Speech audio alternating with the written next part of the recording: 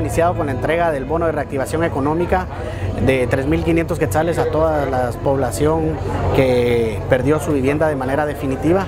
Esto es eh, un mandato de, desde el inicio del señor presidente de la República y fue ratificado a través del Congreso en el decreto ley.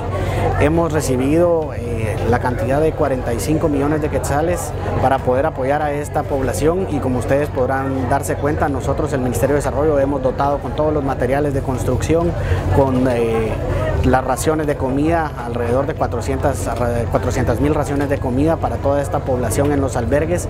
Y es eh, este bono el que viene a reactivar la economía de las personas y fomentar con ello una inclusión eh, social de manera digna después de haber sido afectados y haber perdido todo después de esta emergencia. Tenemos dos distintos bonos que se estarán dando, este bono de 3.500 que el día de hoy se está entregando después de dos meses de la tragedia.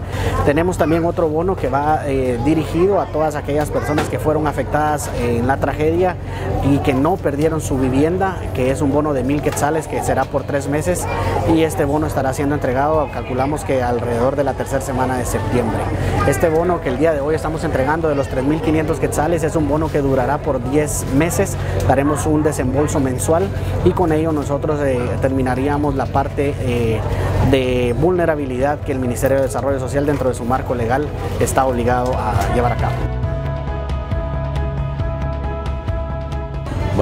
Eso es lo que he hecho, póngale a ahorrar porque ¿qué me queda más? ¿Va? Para el futuro, ¿va usted? Entonces, definitivamente este dinero sí lo voy a invertir en algo, algo bueno, usted? Aunque sea para mis nietos, algunos que por ahí sobrevivieron más a la catástrofe.